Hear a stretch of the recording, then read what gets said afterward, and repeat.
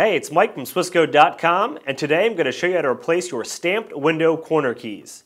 For this exercise, you'll need a drill, a 1 8 inch drill bit, a rubber mallet, a wood block, and a Phillips head screwdriver. Before we get started, you're going to want to remove the existing screen so we can disengage the frame and get access to the corner keys. You can use a screwdriver or a pointed object to lift up your screen spline and then remove the screen from the frame. Now once the screen is removed, take your drill and 1 8 inch drill bit and drill out the four pins that hold the key into the sash. Now you're going to want to repeat this for the opposite top corner.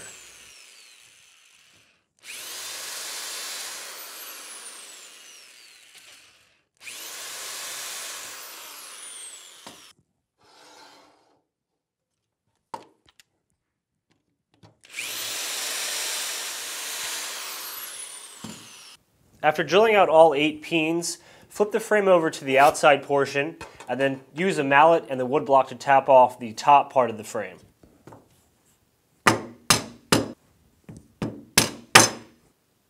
Align the keys into the sash and then gently tap the back of the sash back into position.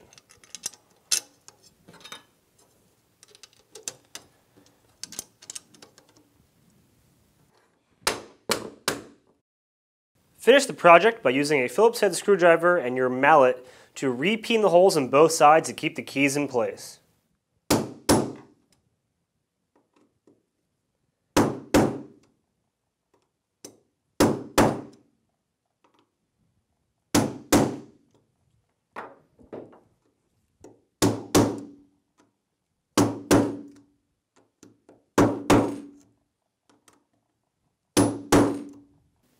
As always, thank you for watching this tutorial. If you have any questions on removing your stamped window corner keys or any other hardware, please be sure to visit us online at swisco.com forward slash discussions.